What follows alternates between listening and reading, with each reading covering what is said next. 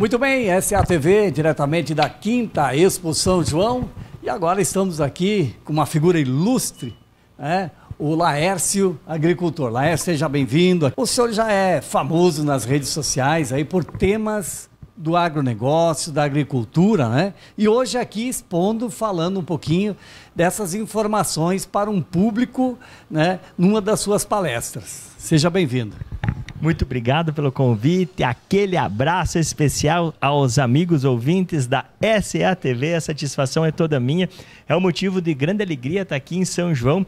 Já vou aprender muito aqui com vocês. Primeiro, organização da cidade, é tudo muito limpo, muito bonito. Me contaram que aqui é uma das únicas cidades do Brasil em que as próprias pessoas cuidam das suas casas, o jardim muito bonito, muito bem enfeitado de Natal.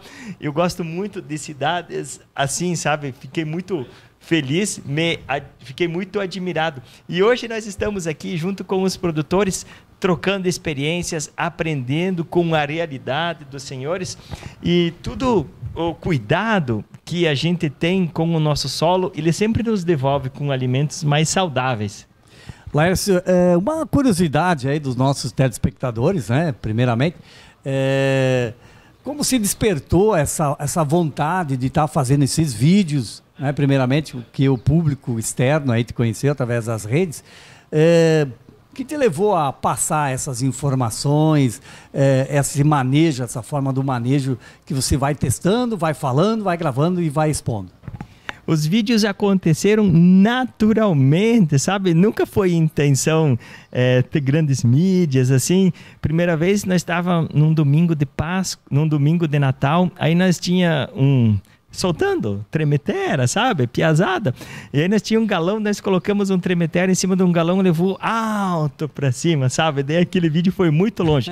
e um outro vídeo que eu fiz de brincadeira com os meus filhos, né? Meus filhos tudo ao redor da casa, meus sobrinhos, e daí a estrada tava muito ruim e ônibus não passava. Aí eu falei para as crianças: "Quando eu pedir para vocês quem está feliz, vocês levantam a mão e gritam: Eu! Então, sabe como é que é a piazada? Aí eu comecei a gravar o vídeo. A administração municipal arrumou um jeito de deixar nossas crianças tão felizes.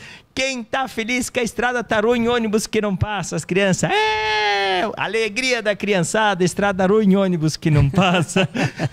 Logo arrumaram a estrada, aquele vídeo foi longe. Que e tá daí louco. pegou o gosto pela coisa. Uhum. E, e, outra coisa, eu sempre gostei de fazer boas práticas agrícolas, é testar. Eu acho que o conhecimento só vale de alguma coisa quando é compartilhado. Quando eu comecei a gravar os vídeos, assim, era mais brincadeira, era tudo mais, mas daí eu sempre gostei de cuidar da natureza, de fazer experiências na nossa propriedade, e a partir do momento que eu, como diz um amigo meu, o Laércio é louco para testar uma coisa e contar para frente. Se deu certo, eu compartilho, e se deu errado, também compartilho. Laércio, falando em, em, em, vídeos, né, de situações, tem um vídeo seu aqui do município de São João do Oeste, né, que se reporta um pouquinho é, a essa situação, às vezes, do transporte, né, do, do, do, dos implementos agrícolas, né, de um ponto A a um ponto B aí na, na, nas fazendas, nas lavouras, na agricultura. É um vídeo aí também que é uma placa que a prefeitura municipal aqui de São João do Oeste colocou, né, que também repercutiu bastante, né? Que fala sobre essa moderação né? e esse entendimento que o público tem que ter com o pessoal do agro, com o agricultor. Muito interessante essa placa. Quero parabenizar imensamente aos idealizadores. Ficou muito bem falado porque nós temos que pensar o seguinte: nós dependemos uns dos outros. O pessoal da cidade depende de nós agricultores, e nós agricultores dependemos da cidade. Então, tem que ter uma ponderação, um bom senso e as pessoas entender que o nosso meio de transporte nós precisa das vias também. Épocas de safra, entre safras, vamos ter atenção. É, essas máquinas, nós não gostaríamos de passar na BR mas não tem outras opções. Nós se obrigamos a fazer isso. Então, contar com bom senso é muito importante. Eu fiquei muito feliz com essa placa. Essa placa que vocês fizeram aqui já tive repercussão nacional. Eu que vi. legal, né? Uhum, muito interessante. Isso é interessante. Isso é uma ideia aí da atual gestão, né? É, Municipal de São João do Oeste, que vem a encontro dessas situações rotineiras do agricultor, né? E essa atitude, ó, dá para tirar o chapéu para vocês. Nota 10. Isso aqui vai ser replicado, exemplo, e vocês não têm noção da repercussão positiva que isso está no mundo do agro. É, a tua região lá é mais no Paraná, né? Tem mais é mais sementes, mais agricultura, é isso, né? É, eu, nós somos descendentes de italiano, vemos do Rio Grande do Sul, 3 de maio, e Beleza. eu nasci aqui pertinho de vocês. Maravilha, Santa oh, Catarina, pertinho. minha terra natal. Então, Mangueirinha lá é, é um pouco mais plano que aqui, é, mas lá também tem muito é, aviário, suinocultura, principalmente bovino de leite, tem, tem, tem bastante trabalho nesse sentido também. Elércio, é, o tema hoje que foi discorrido ali na, na, nas suas palestras, nas suas informações, tratou mais em que sentido? Tem uma historiazinha que eu quero contar aqui para os amigos que estão nos assistindo e entender qual que é o nosso princípio. Nos Estados Unidos, Albert fez um trabalho muito interessante. Ele partiu um pedaço em dois manejos, lado esquerdo e lado direito. Do lado direito, todos esses manejos que nós falamos aqui, boas práticas agrícolas, rotação de cultura, é, colocar palha, matéria orgânica no nosso solo, calcário, um solo vivo, um solo descompactado. Do lado esquerdo, um solo com maus tratos culturais, um solo compactado, sem rotação de cultura, é, com pouca diversidade. Aí eles plantaram grama nesses dois pedaços e colocaram coelhos para comer. Os coelhos tinham comida à vontade, não faltava comida, tanto no solo ruim quanto no solo bom. E também o milho que era dado em suplementação alimentar, aonde o solo era rico, era produzido num solo rico.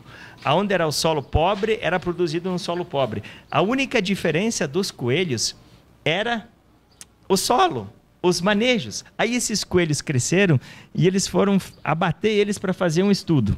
E gente deu uma diferença: solo rico, ossos com muito mais cálcio, menos gordura, mais musculatura. Os coelhos são reflexo daquilo que eles comem. E nós, seres humanos, que diferença nós temos dos coelhos? Por isso que eu tiro o chapéu é aqui pela ideia da, da prefeitura, tanto é que do solo, que tudo se movimenta. Quando nós pensa em produzir um alimento saudável, muito mais importante do que a gente colher bastante é ter um alimento com maiores é, nutrição, é, digamos assim, com mais minerais, é tornar pessoas muito mais saudáveis. Solo sadio, plantas sadias, homens e mulheres muito mais felizes. Então, esse cuidado nós precisamos ter com o nosso solo. E se nós parar para pensar uma coisa, nós estamos aqui só de passagem daqui a poucos anos vai sobrar só a nossa história. Vocês já pararam para pensar que esse solo vai ficar 200, 300, 500 anos? E se nós não cuidar desse solo, o que, que vai ser das futuras gerações? O que, que vão se alimentar? Então, eu gostei muito de estar aqui com vocês. A nossa linha de pensamento com a administração é muito parecida e vamos cuidar do solo que ele cuida de nós. Lars, a gente fica muito feliz por ter vindo aqui dar essa palestra, né? E a gente também é, dá os parabéns, porque a gente soube que foi um sucesso as suas palestras, sua, passar essa experiência, que eu acho que, acho não, tenho certeza que para o agricultor, a experiência do dia a dia ali às vezes vale mais do que muitas teorias às vezes, né, que vêm vem prontas a prática ela nos ensina, nos regra um pouquinho diferente às vezes, né? É uma troca de experiências. Eu estou aqui aprendendo com vocês também. Aqui é o município que mais produz alimento por metro quadrado, carne. Então, eu aprendi muito com vocês aqui também. E, aonde a gente vai, a gente vai compartilhando. Eu sou é um fofoqueiro do bem. O que eu tenho de coisa boa aqui, eu levo para outro município e assim vai indo pelo Brasil afora, né? Então, fico muito feliz de estar aqui. Convido a todos que queiram se fazer presente, passear lá na nossa propriedade. Ela está de portas abertas. Eu recebo mais de mil pessoas por ano de visita. É só marcar o dia, porque eu viajo bastante, daí estou poucos os dias em casa. E quando quiserem vir nos visitar, sejam muito bem-vindos. Vai que sai um ônibus aqui da prefeitura, né? É, aqui já, já o pessoal aí já eh, tem você como uma, uma excelente referência nesses temas do agronegócio. Então, Lécio, fica à vontade, se sinta eh, convidado. Outras vezes, se passar pela região aqui, quiser dar uma palavrinha na, na SATV, estamos sempre de porta aberta. Obrigado por ter vindo aqui eh, participar e dar seu, suas palavrinhas aí para uh, engrandecer ainda mais a nossa cobertura da SATV aqui na Quinta Expo São João. Eu quero agradecer a SATV, a todos o carinho, a audiência do público, a comissão organizadora da feira, tudo muito bem organizado. Me senti em casa, aqui pertinho da minha terra natal. Levei a minha mãe junto para estar tá aqui. E, e a mensagem que eu quero deixar para os amigos ouvintes é que a nossa vida passa tão depressa, vamos aproveitar ela. E para nós faz, colher mais ou melhorar qualquer coisa da nossa atividade, não precisa a gente gastar mais, e sim fazer bem feito, com carinho e na hora certa. Meu, muito obrigado, amigos, pelo carinho e vamos investir no solo que ele devolve para nós. Aquele abraço, amigos.